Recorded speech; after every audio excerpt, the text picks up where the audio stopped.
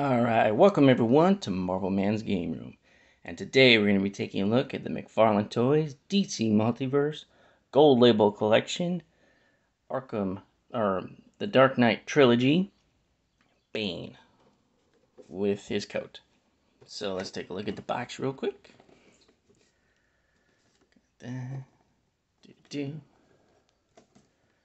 Bane trench coat, Dark Knight Rises.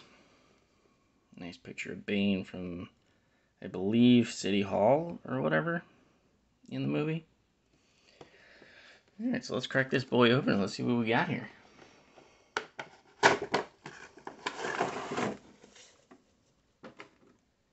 Alright.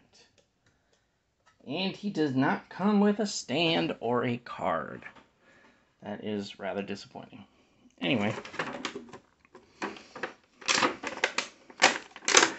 So let's get this boy out of here.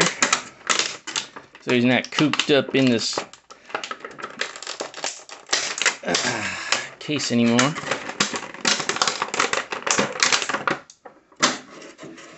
Right, put that off to the side. Ooh, I do like that fabric for the coat. So it looks like the coat is removable.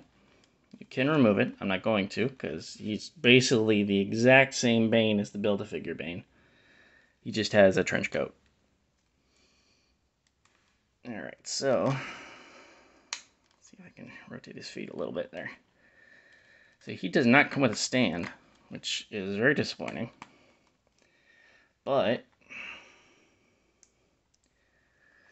he does look really nice. I do like the the I'm guessing this is pleather and the the you know, fuzzy in the coat.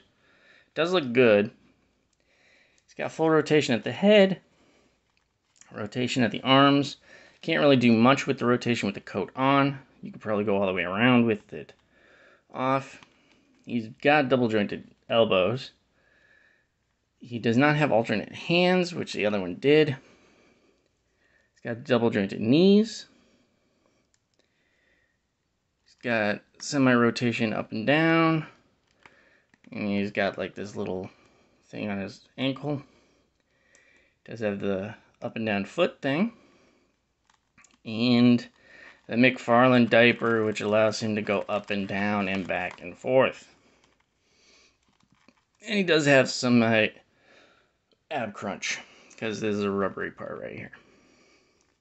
Other than that, it's pretty much the same Bane as the Build-A-Figure Bane, minus the extra hands, and he's got an extra coat. So let's try to set him up, because he doesn't have a stand, so he's not going to be nice about it.